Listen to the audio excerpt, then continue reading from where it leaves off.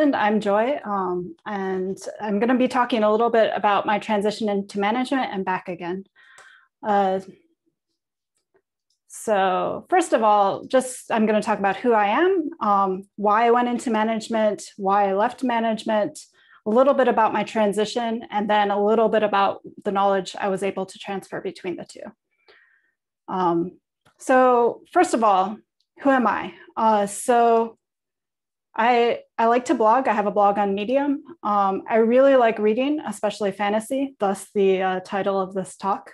I like to bake, especially pies, and I like to run, especially long distances on trails.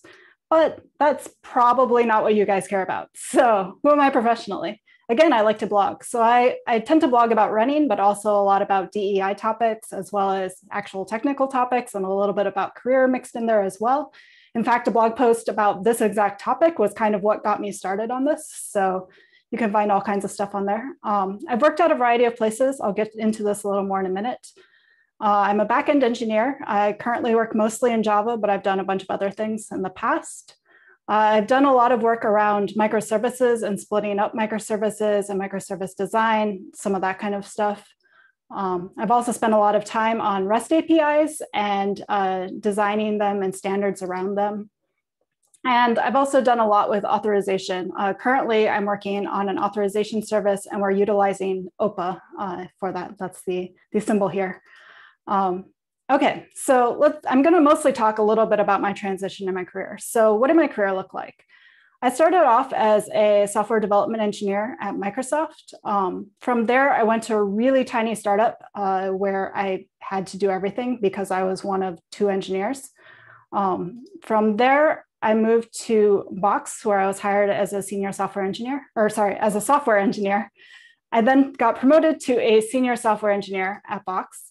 And then I moved into this role that at Box we called the TLM or Tech Lead Manager which is sort of a transition role between uh, IC and management. And the idea was that it wasn't an actual promotion, but it was sort of this acknowledgement that you were making this transition. So someone who was a TLM could be doing anything from basically IC work with like a little bit of project management or something like that thrown in, all the way to they're doing basically all of the management of a team except for the actual final sign off by the official manager at the time. So kind of spans a wide range. Uh, from there, I got promoted into being an engineering manager.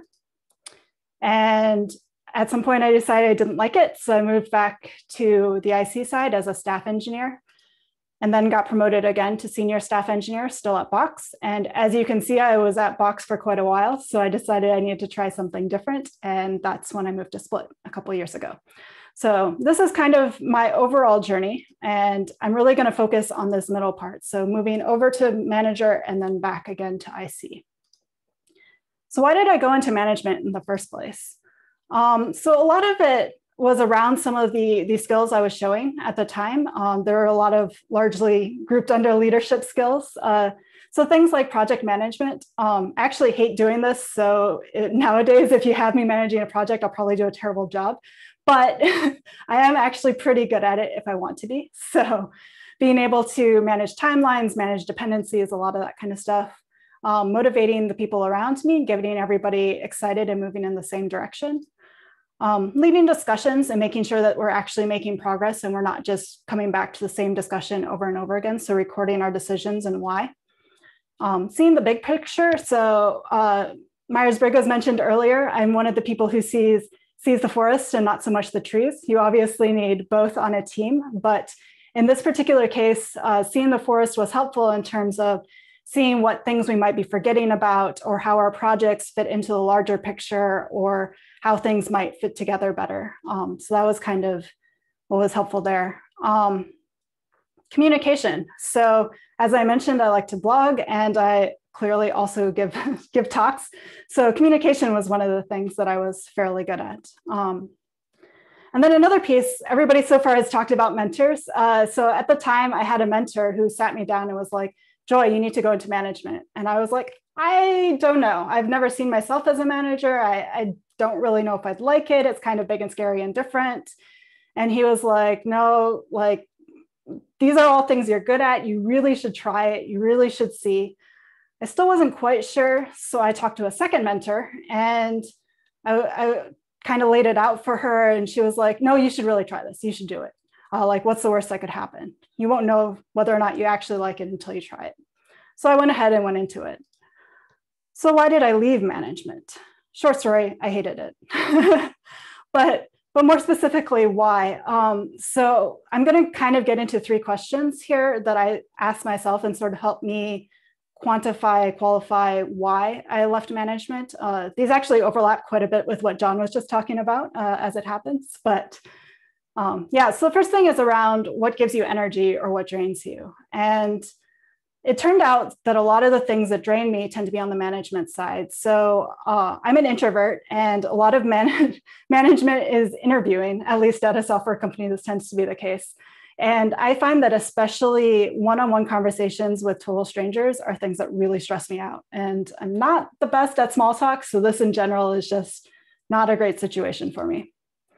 Um, giving feedback. Uh, so, as I quickly discovered, uh, everybody on my team was a little different. And some people took feedback really well, some people did not. And some people, which were actually kind of the worst, like fell on both ends of the spectrum. And it was really hard to tell where they were going to end up. And so, wanting to be able to give the right level of feedback that was both uh, taken seriously, but not like freaking somebody out was really stressful for me trying to figure out that balance.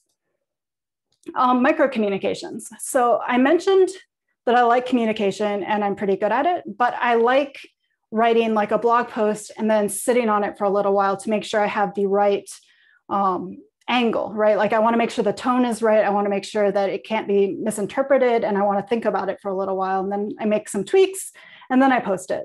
But the thing is, as a manager, you're constantly giving small presentations, you're constantly writing emails to people um, all across the board. You have to talk to people more senior than you, people more junior than you, and like just all over the place. And while I could do these, all of these things, I found that it was stressful for me to let go of that being able to make sure I always had the right tone and like taking the time to do that because I just didn't have the time for that. And again, sort of similar to the interviewing, but as a manager, if you tried to schedule time with any manager, you know that their schedule is just packed. It's like solid meetings because they're trying to organize things with other teams and all this other stuff. And so, again, as an introvert, I found that very draining. By the way, this isn't to say that introverts can't make wonderful managers. I know a few. So if you're an introvert, you can still make a great manager. Don't take this to be that, but I did find that part draining. So, what gives me energy? Um, doing stuff on my own, reading, uh, working on my own. Um, but I don't hate people either. So, actually, I find working with a small trusted group, so like my immediate team, uh, to be really energizing, especially if we're solving a hard problem together. I really love that collaboration and talking to each other and bouncing ideas off each other. Um, and I like finishing things. Uh, so I have a picture of a runner here since I'm a runner, but I really mean like finishing a project, um, fixing a bug, shipping shipping a feature, you know, that kind of thing. I love I love that feeling of being done. Okay, so my next question is what drives and excites you? And this initially sounds a lot like what gives you energy. Um, but the subtle difference here is I like to talk about running. So, like in a race, uh, especially a really long race, there are going to be low points. There are going to be times when you're hot and you're tired and everything hurts and you just don't want to continue and it's terrible but you continue because of that feeling at the end and like the the feeling of finishing the feeling of accomplishment and um, that's why i sign up for another race again right so that's sometimes the end goal can be more important than the individual little things along the way so what were what were my end goals what really is the thing that i'm aiming for in the bigger picture so for me it's i really like helping people um, whether that's mentorship uh, whether that's uh, solving problems for our customers, whether that's giving a talk like this. I like trying to know that I might be helping people out there. So this, this actually kind of applies to both management and an IC role. Um, I really like building things. I like the feeling of creation. I like uh, having something that I've, I've made out there in the world. A little more on the IC side. And I like solving really hard problems. Um, I like stretching my brains to its limits, uh, especially with people, as I mentioned. And don't get me wrong, there are definitely very, very challenging problems on the people side, but that's not quite the type of problem I like to solve. I like a little bit more technical problems. Um, I don't know how to quite quantify that, but I'm sure some of you can relate. So as you can see, it leans a little more towards the IC side on this in terms of what drives and excites me. Finally, the last thing is around how you feel accomplishment. Um, it turns out that on the management side, you do a lot of things like moving around calendars, uh, cheering on your team, uh, coaching them, uh, shielding them from outside interruptions, uh, clearing the path so that they have an easy way forward and they can just heads down work, and you know managing dependencies and working with other teams. Meanwhile, on the IC side, you see a lot more of um, actually this falls on both sides mentorship so helping helping other people grow in their careers one-on-one this really does fall on both sides um, working on code, like actually writing the things uh, and fixing bugs, right? Obviously, there's much more on both sides, but just high level, those are some of the big things. And I found that on the management side, it's it's less clear the line between what you do and uh, the outcomes, right? Like I might have argued for us, my team, to work on project X instead of project Y, and I got it accomplished. And we did an amazing job on problem project X, but like, was that the right choice? It's really hard to tell, right? Or um, I, I, worked hard and motivated my team, got rid of all the obstacles, and they really knocked this project out of the park. But maybe they're all amazing engineers and would have done it even without me, right? And um, meanwhile, on the IC side, it's it's much clearer, right? You you fixed a bug. You you uh, wrote wrote this amount of code for this feature. It's it's very clear what you did and how that impacts the long-term thing. And I think we all know that it's not that great managers don't do a lot, right? Like I have I've had many great managers, and there's a big difference between a great manager and a terrible manager. And so obviously they're doing a lot and they're really helpful. But and I knew this in my head, but I really had a really hard time internalizing this. So even though I knew that I was uh, creating impact and actually doing things that helped my team, it didn't feel like that on the inside. So I found I felt like I was just in like a hamster wheel, just spinning, right? Like I felt like I was doing all this work and not getting anywhere. So that that's sort of why what I picked there. So switching back, um, I just have one thing I really want to talk about here, and that is that a lot of the people I talked to at the time, and this was a fear of mine as well, was that they were really worried that they would lose their technical edge, like they wouldn't be technical enough to be a developer again if they went into management. And I'm going to be honest. So I, I got a little bit lucky in that I managed to switch back to the dev side at a company that I'd been at. So I, even though I hadn't been in the code for a couple years, I did have the background. I knew the general architecture, I knew the general patterns and all that kind of stuff. So it was pretty easy to pick up again. And then the other side I want to mention is that technology is always changing. It's changing really fast. And switching companies, even as a developer, it's often very different. So we we all kind of learn to learn anyway. And so if you've accomplished this even a little bit it's not that hard to switch back. Um, on top of that uh, sorry i lost my train of thought. Yeah so we all learn so that's that's a great thing uh, about that. So it's, it's really not that hard. Okay finally transferable skills it turns out that both the management IC tracks, as you move up the ladders, uh, it increases in both scope and influence. And this, this comes out in that there's a lot of things that are very similar between the two. So first thing is uh, setting visions or direction. So on the IC or on the management side, you're setting the direction for your team, right? You're creating the backlog, the projects they're gonna work on.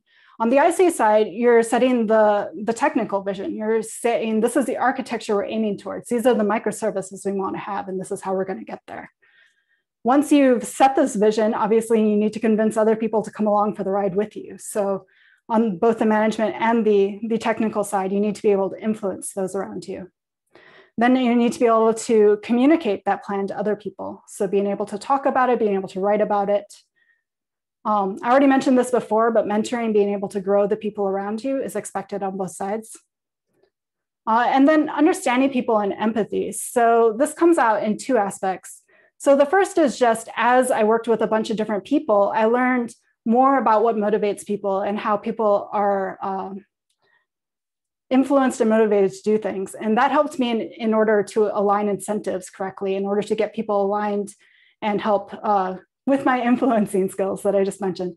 And then the other side is as a former manager, I had some insight into what, what the challenges of being a manager were, as well as some of the processes and some things along those lines.